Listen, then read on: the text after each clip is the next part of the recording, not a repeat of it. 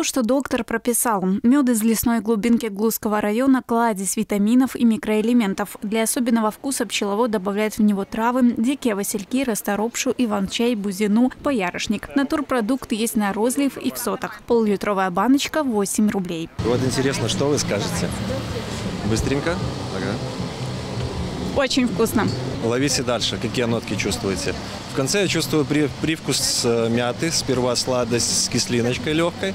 Вот, за счет большого изобилия диких трав. Прямиком с грядки. На сельскохозяйственной ярмарке фермеры предлагают свежие овощи и фрукты. Цены приятно удивят. Килограмм картошки обойдется в 80 копеек. Морковь и свекла по рублю. Хороший выбор продуктов для закаток. Красные сладкие перцы, лук, томаты, кабачки. Дары природы на любой вкус и кошелек. Мы сегодня купили вот укропчика хорошего, купили кукурузки и пришли за лавандой. Это все дешево, абсолютно дешево. Голубику купила.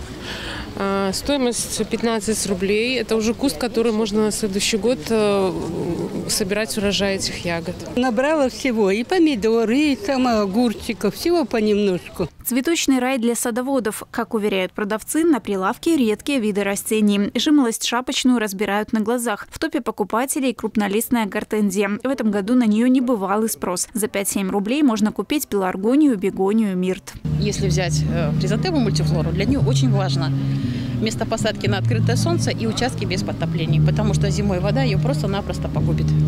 Для бегонии очень важно не переливать, вода ее тоже погубит. Закупиться впрок можно по выходным с 9 до 15 вплоть до 6 ноября. Фермеры и садоводы работают на Горького вдоль 41-го дома. В то же время Кермаш открывается на Минской 123, Дзержинского 4, Карла Маркса 49 и на Днепровской флотилии 40. Ольга Васенда, Максим Галеонко, Бобруйск 360.